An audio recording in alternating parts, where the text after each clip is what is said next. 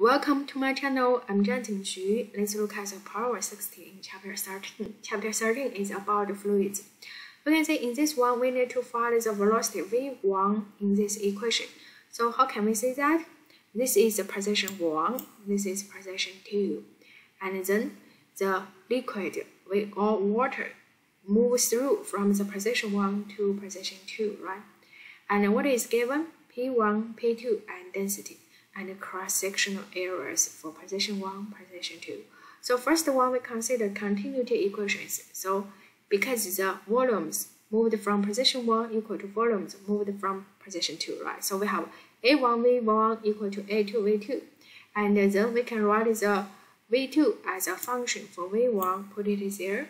Now we look at the um, Bernoulli's equation, this one.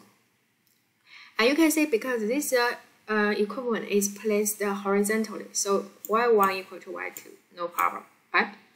And then we can solve the equation. It becomes this one, and then we can get the function for v2 equal to v1 square plus this uh, term.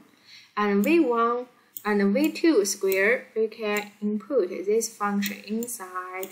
Now you can see in this equation, we can solve the v1, right? v1 equal to this function.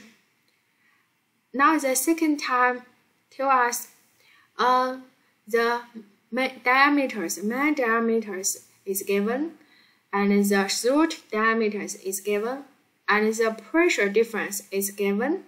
Can you find the speed for V1? Sure, we can see what is given. We listed there.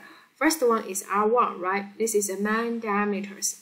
So this is diameter given, so you can get the radius. R1, you can find it there, half of the 3 centimeters. R2, half of the 1 centimeters there, right?